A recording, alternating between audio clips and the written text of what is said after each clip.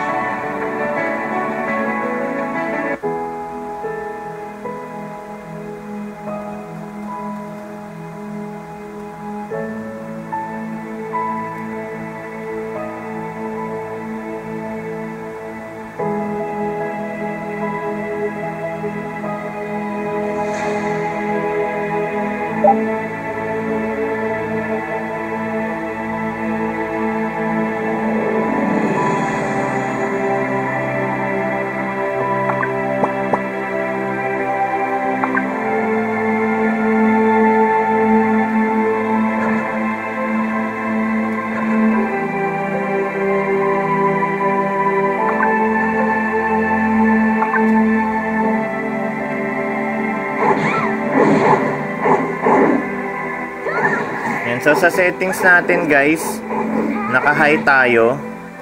Yung screen shaking, bawasan natin. So high settings, scatter effect on lahat. So testing nga muna natin sa high. So sa high settings, uh, sobrang smooth. So tingnan natin kung gagawa tayo ng quest sa loob ng dungeon kung maglalag.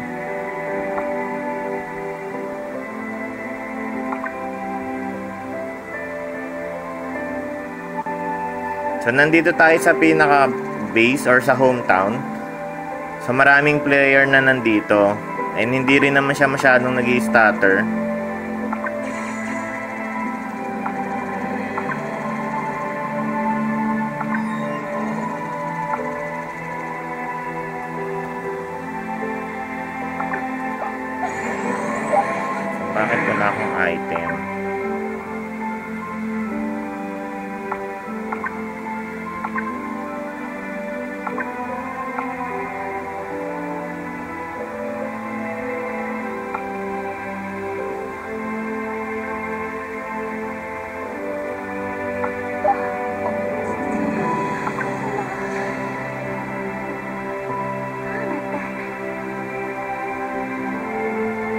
naka-equip naman lahat ng weapons natin.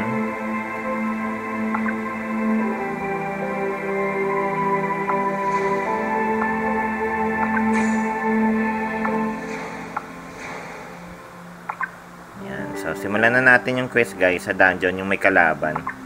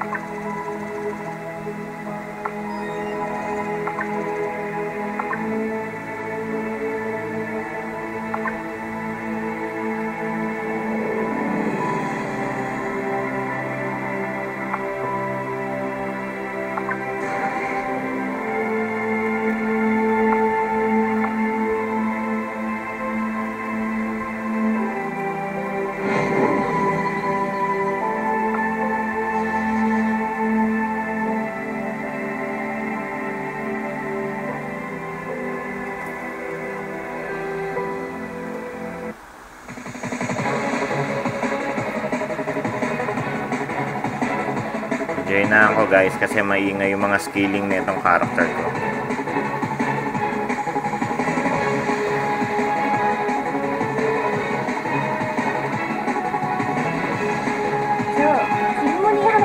So sana nakikita nyo na sobrang ganda ng graphics nito guys.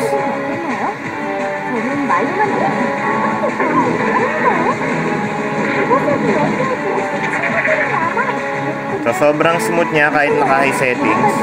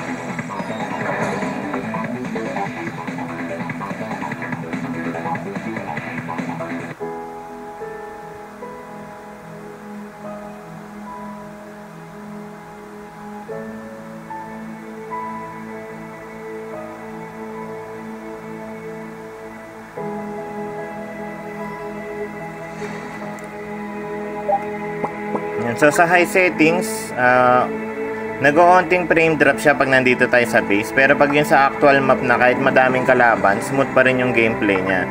So ngayon, uh, testingan na natin yung pinakatodong settings kung kakayanin.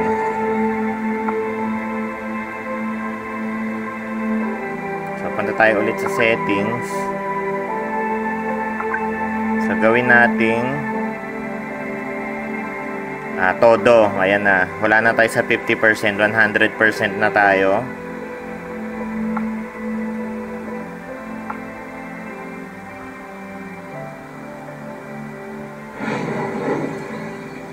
Yan, pag nasa town kasi guys, sobrang daming player eh. Kaya naglalag. Ngayon, pag nasa dungeon tayo, tignan natin.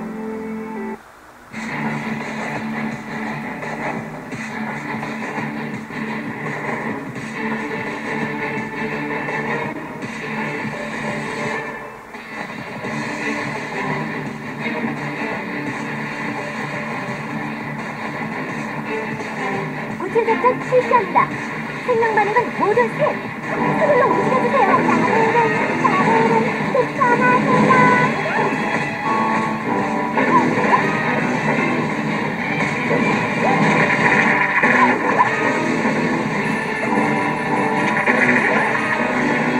Ayan, so kahit nasa pinaka todo tayo 100% high ah, smooth pa rin siya kayang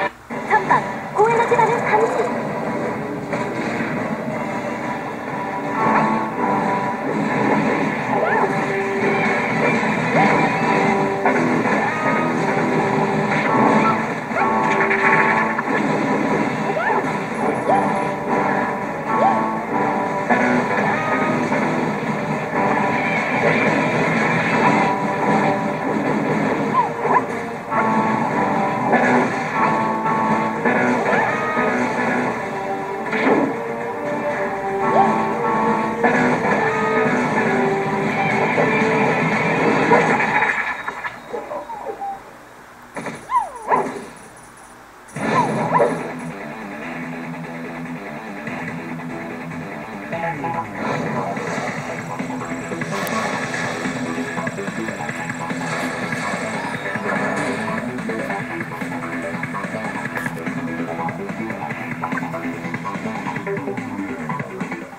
kung naghahanap kayo guys ng malalaro na anime inspired na MMORPG and high graphics tapos smooth sa Player S8 Pro, so pwede nyo itry yung Soul Worker Z. So walang kaproble-problema yan. So kayang-kaya niya. So if you like this video guys, don't forget to like it. Kung hindi nyo naman type, dislike it. And for more Pinoy Tube videos, don't forget to subscribe. This is King of Pinoy Tube signing out. Thanks for watching. Bye.